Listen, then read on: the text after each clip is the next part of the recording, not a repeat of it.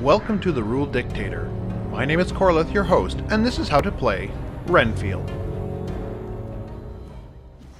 Renfield is a card game that combines betting elements, like poker, and trick taking, such as in Hearts and Euchre. As this is a gambling game, poker chips are very useful. Each player should start with $100 in chips. This game can be played with as few as 3 players and as many as 8, but the optimal number is between 4 and 6. Although I bought the game when it first came out, and consider it money well spent, it is now available for free. The link to download the cards and rules can be found in the description. Renfield is a fast paced game that is both savage and fun, so let's get to it. A deck is comprised of 54 cards divided into three suits. The suits are parts, stones, and tools. Each suit has cards ranked from 0 to 17. The suit and rank are featured in the top left corner of the card. A card can also have a cost and bugs. The cost, in dollars, is represented by a number of coins printed under the suit. A card can have a cost that ranges from 0 to 5. Bugs are printed down the left side of the card below the cost. A card can have from 0 to 6 bugs. The 2s and 12s are a bit different. The 2s are money doublers and the 12s are bug doublers. The doublers will be explained in a bit. Take out the three zeros, called the key cards, and place them face up on the table. The remaining 51 cards are the deck. Select a player as the dealer. He will shuffle the deck and then deal 6 cards, face down, to each player. After looking at your hands, proceed to the bidding phase. Starting with the player to the left of the dealer and going around the table once in clockwise order, each player offers a bid for the lead or passes. The first bid may be as low as $1. Subsequent bids must be higher than the previous one. Highest bid takes the lead. If everyone passed, the dealer must take the lead with a bid of $5.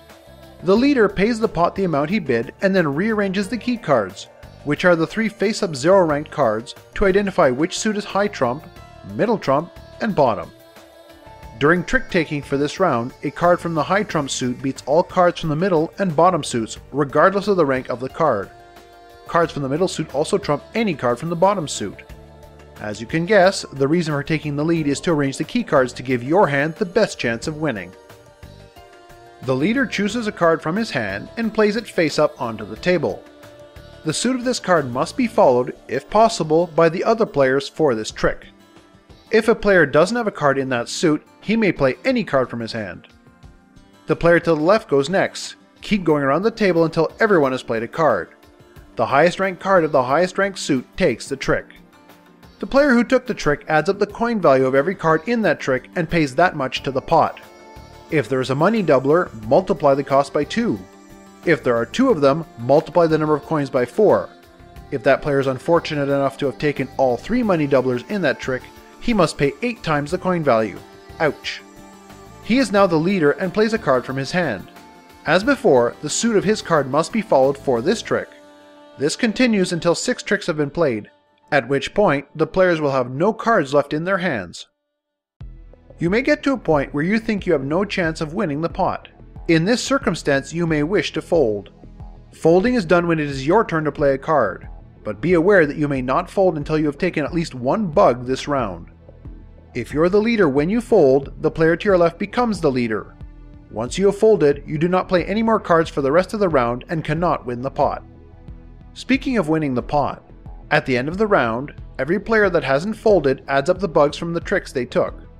Bug doublers, which are the 12s, affect the entire set of cards and not just the trick in which the bug doubler was taken. Just like the money doublers, multiple bug doublers compound each other. Two bug doublers multiply your total bug count by 4, and all three multiply them by 8. The pot goes to the player who took the fewest bugs but has at least one, that's right, if you have taken no bugs during the round, you do not win. Be aware that it is possible to take tricks that contain no bugs. If there's a tie, split the money evenly. Any leftovers remain in the pot for the next round. The player to the left of the current dealer becomes the new dealer. He starts over at the dealing step.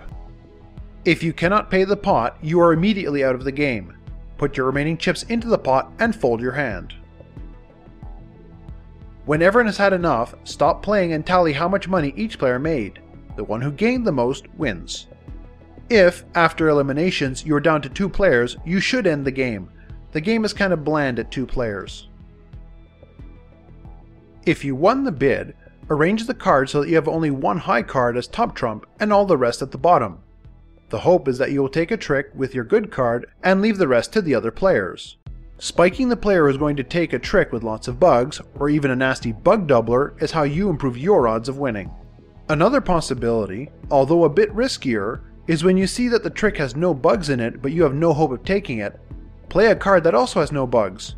If every player does the same, the winner won't be able to take the pot on that trick alone.